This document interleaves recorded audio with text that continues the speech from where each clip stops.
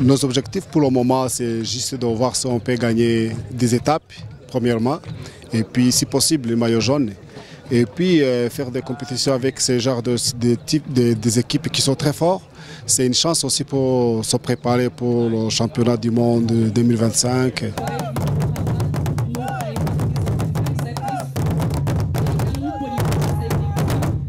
remind you that they have been where we have the champion number one. He's from Greece. He won uh, four times Tour de France.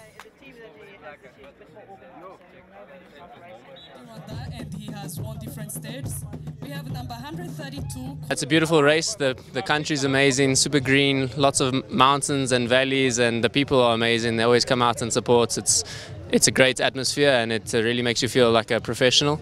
Um, it's the closest thing to European racing that we have, but with the African flair, and I think it's very unique. You don't get this anywhere in the world. So.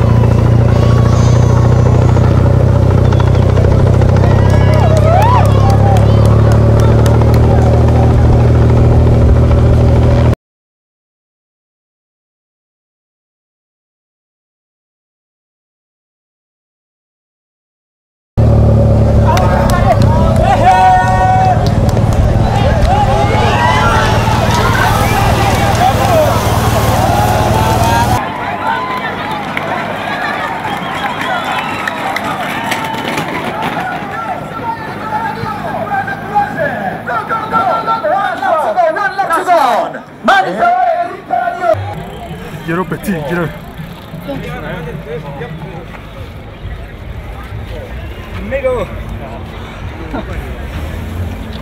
I've never ridden with these guys before, so to pull something like this off with uh, with a team being the first time, and for some of these guys, first time in the professional uh, race, uh, it's really special. And the boys were really good, uh, and yeah, it was ni- nice to race with them. Congratulations once again to the Yellow Jazz team. Weira is none other than well-known Ethan Vernon from Soudal Quick Step Devo